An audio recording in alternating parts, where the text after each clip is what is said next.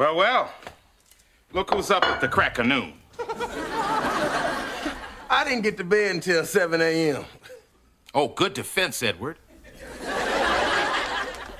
Son, were you drinking? Well, I blew the foam off a few. Uh-huh. Hey, Rich, um, I'd like to speak to Edward alone, so So I should get lost? thanks.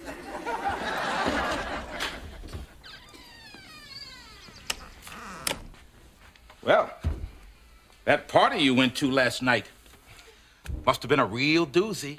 Yeah, the frat house really rocked. Music, babes, good food. Drinking?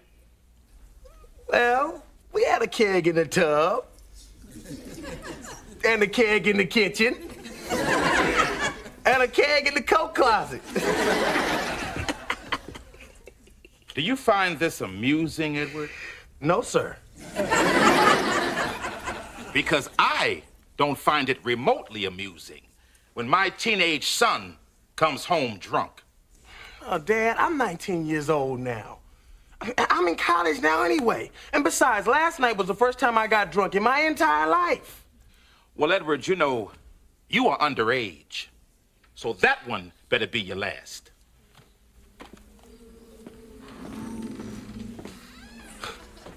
Come on, Dad, lighten up.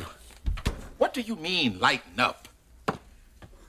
Edward, your mother and I send you to college to get an education, not to party hardy.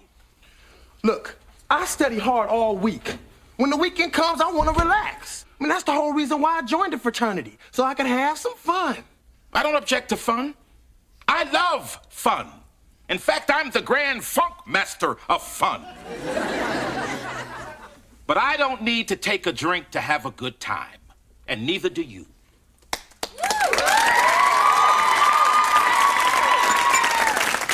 Why do you always do this? Why do I always do what? Limit me. Build walls around me. Edward, this is not about balls. This is about roads. And drinking will take you down a road that leads to a dead end. Look, Dad, I don't see how having a few beers with my friends is gonna hurt me. Edward, here is the bottom line. The next day that I catch you drinking again will be the very last day that you live in this house.